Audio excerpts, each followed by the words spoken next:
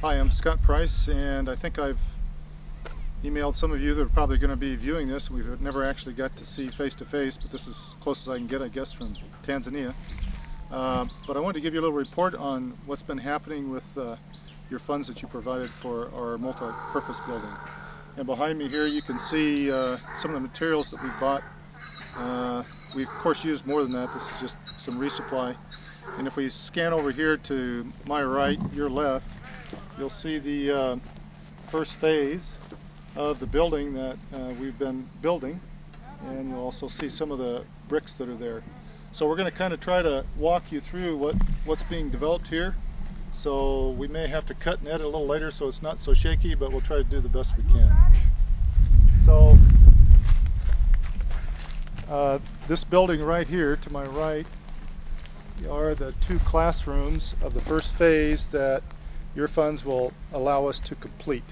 And there's going to be two student classrooms located in here.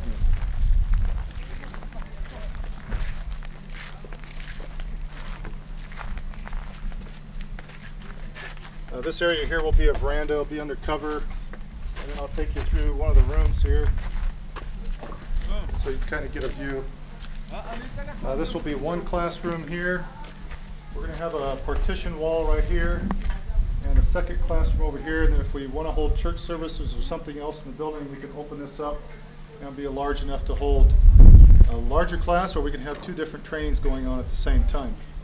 And what you're going to see out here is the beginning for the footers for phase two. And uh, you can see how they've dug up the area and they're putting some stones down there to pour cement.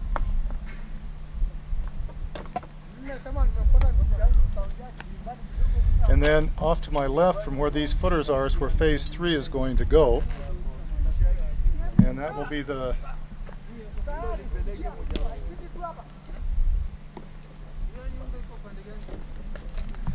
And that will be the last part of the building that we get done. Our goal right now is uh, we've got the substructure and the structure for phase one. We want to get phase two to that same level and then we're going to put the roof on phase one and phase two so that we can have the dining and the kitchen area covered. It won't be finished but possibly be able to use for our next training cycle.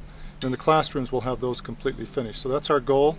And to date we've spent $11,500 of the 20000 that you've provided. Hope you enjoy this.